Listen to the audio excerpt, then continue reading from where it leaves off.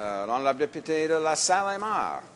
Merci beaucoup, Monsieur le Président. Alors, euh, écoutez, il me fait plaisir euh, de me lever en chambre ce matin, lundi matin,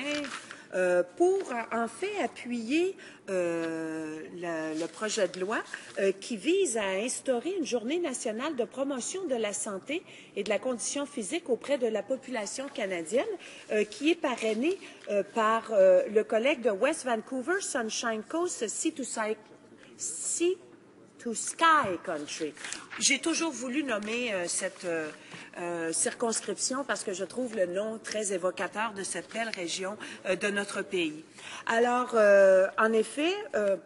nous appuyons ce, projet de loi parce qu'en fait, qui euh, et en fait, j'appuie également les initiatives de mon collègue parlementaire qui incite les autres parlementaires euh, à, faire, partie, euh, à, se prendre en main et à améliorer leurs conditions physiques. Malheureusement, je n'ai pas participé pendant les récentes années à ces, à ces nombreuses initiatives et je devrais. Je fais ma part en marchant, en montant des escaliers pour aller rencontrer mes commettants, mais malheureusement, euh, jusqu'à présent, c'est euh, tout l'exercice que je fais. Alors, l'objectif est d'inciter euh, et d'inviter les provinces, les municipalités, les organismes communautaires à organiser des activités dans leur territoire afin de souligner l'importance d'adopter un mode de vie sain et faire la promotion des établissements de santé, de loisirs et de sport dans les communautés. Ben, on ne peut pas être contre cette vertu-là, euh, justement, de faciliter la participation des Canadiens et Canadiennes à des activités physiques saines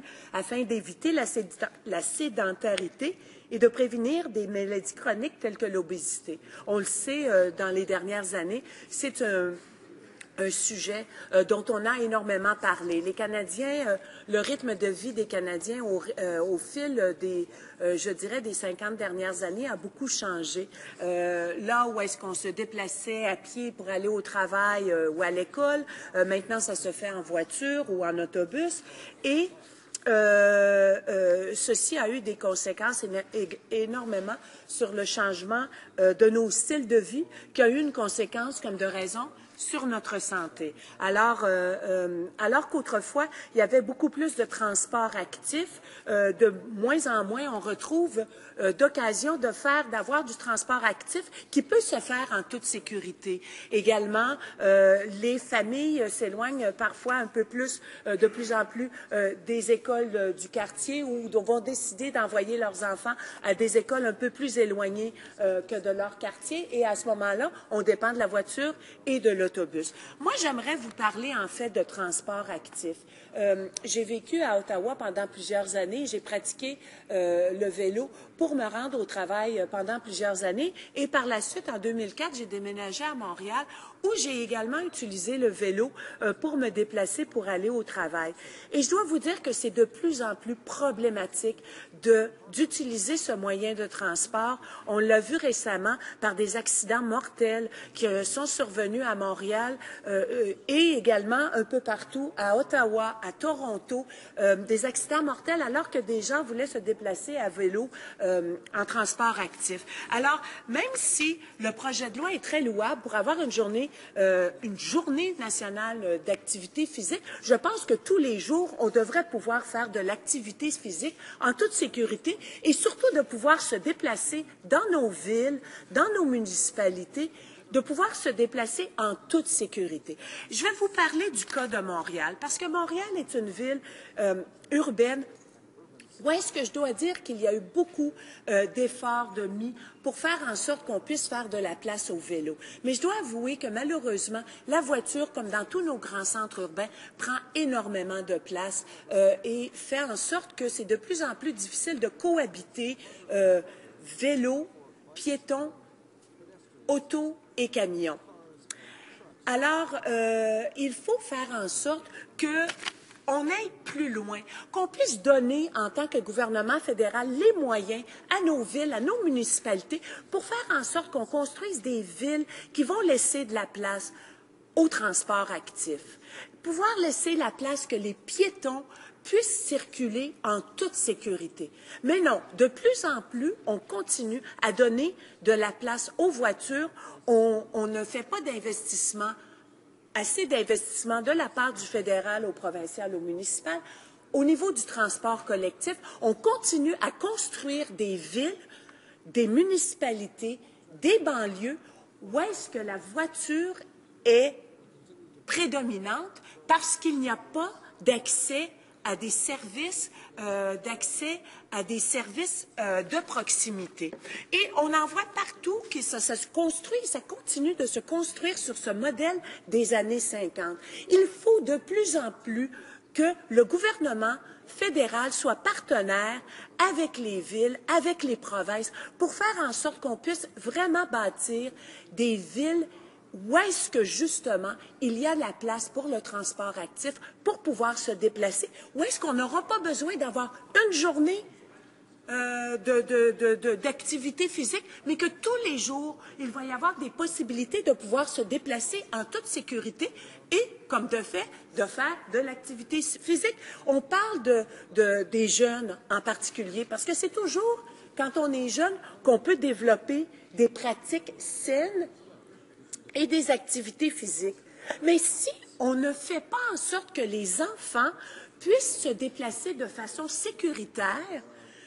pour aller à l'école, pour aller à la pratique de hockey, pour aller euh, à la partie de soccer, qu'ils soient toujours obligés de se déplacer en voiture parce qu'on n'a pas construit des, euh, façons pour qu'ils puissent se déplacer en toute sécurité, bien là, on manque le bateau on manque le bateau. Euh, j'ai rencontré, on, a rencontré, plusieurs d'entre nous ont rencontré euh, l'organisme qui s'appelle Sport est important, euh, où le sport canadien se relie. En tout cas, ça se connecte ensemble. Et selon les recommandations de l'Association des parcs et loisirs du Canada, le gouvernement fédéral doit inclure un engagement annuel de 925 millions de dollars pour trois ans en partenariat avec les provinces, territoires et les municipalités pour investir dans un programme d'infrastructure centré sur des projets touchant les domaines du sport, de l'activité physique et des loisirs. Alors, il faut qu'on mette, comme on dit, nos paroles en action avec des actions concrètes qui feront en sorte qu'on pourra épauler, que le fédéral va être un partenaire actif, pas seulement avec, euh, euh, des mots euh, et, et d'instaurer une journée nationale, mais qu'on aille plus loin pour qu'on ait chaque jour des possibilités de faire de l'activité physique, qu'on puisse se déplacer en sécurité à pied ou en vélo ou euh, euh, d'autres moyens qui font en sorte qu'on va pouvoir euh, le faire en toute sécurité. Dans ma circonscription, j'ai plusieurs groupes communautaires qui sont vraiment actifs, qui sont des, des, des gens qui mettent de l'avant l'activité physique, non seulement pour le, la forme, pas seulement pour la forme, mais également pour faire en sorte que des jeunes puissent se retrouver autour d'un terrain de basketball, autour d'un terrain de soccer et puissent socialiser ensemble. Alors non seulement on parle d'un esprit sain dans un corps sain, mais c'est également un moyen excellent pour faire que les jeunes puissent justement se connecter ensemble, travailler ensemble. Je parle de la Maison des jeunes de la salle. Monsieur le Président, un organisme qui, justement, auraient bien besoin d'un financement récurrent, stable, pour qu'ils puissent continuer à faire les projets excellents avec leur équipe de soccer qui réunit des jeunes qui viennent de milieux défavorisés. Imaginez-vous donc qu'ils participent à des tournois, ces jeunes-là, et raflent la mise parce qu'ils travaillent ensemble. C'est une façon pour eux de faire de l'activité physique, mais également de se faire valoir sur un terrain de soccer. Alors, une activité, j'encourage encore la Maison des jeunes de la salle. Également, un autre, un autre organisme que j'aimerais saluer, l'Académie de, tennis du sud-ouest de Montréal, qui introduit des jeunes qui viennent de quartiers pas riches, là, qui ne peuvent pas bénéficier des crédits d'impôt sur le sport, parce que les parents n'ont pas les moyens d'acheter une raquette de tennis, de s'inscrire à, des cours de tennis. Ben voilà que l'Académie de tennis du Sud-Ouest contribue à faire en sorte que ces jeunes-là peuvent avoir accès à des leçons de tennis et puissent contribuer et participer à une activité physique. Alors, Monsieur, le Président, d'emblée, on est d'accord d'avoir une journée, mais moi, je pense que le gouvernement fédéral devrait aller beaucoup plus loin. Premièrement, pour créer, pour avoir des infrastructures sportives qui sont accessibles à tous et surtout pour faire en sorte que nos villes et nos municipalités puissent favoriser le transport actif pour faire en sorte que justement chaque jour ce soit une journée où est-ce qu'on peut faire de l'activité saine pour se garder en santé.